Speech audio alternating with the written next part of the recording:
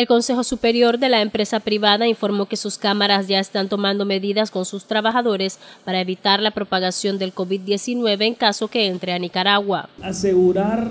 por ejemplo, que haya horarios escalonados, el asegurar que no haya concentración masiva de personas, el asegurar que si hay una empresa que tiene un elevador, que solo vayan cuatro personas en ese elevador, el asegurar que si tenemos un departamento que es crítico para la empresa, las personas de ese departamento estén trabajando en tres lugares distintos por si hay un problema de, afectación con alguno de ellos, el asegurar que al entrar los clientes a un lugar tiene ya ese eh, centro una pistola para estar midiendo la temperatura y no permitir si esa persona está entrando con calentura. Ya hay empresas que han tomado la decisión de empezar a que el 100% de su área administrativa trabaje desde su casa. Con relación a las líneas aéreas, el COSEP mencionó que la mayoría ha reducido su número de vuelos, lo que afectará fuertemente el turismo en Nicaragua. Expectativa que se tenía para que en Semana Santa llegaran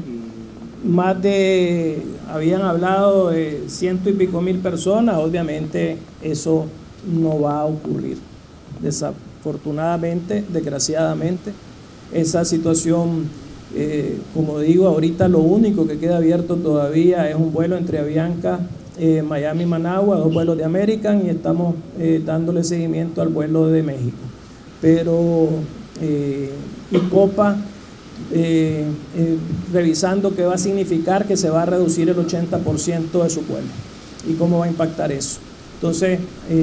desde ese punto de vista va a tener un impacto muy grande en el sector turístico nuevamente, un sector que ya fue afectado por la crisis sociopolítica y que ahora vuelve a ser afectado directamente por esta situación del coronavirus. Por otra parte, el Consejo Superior de la empresa privada indicó que también están trabajando en la propuesta de creación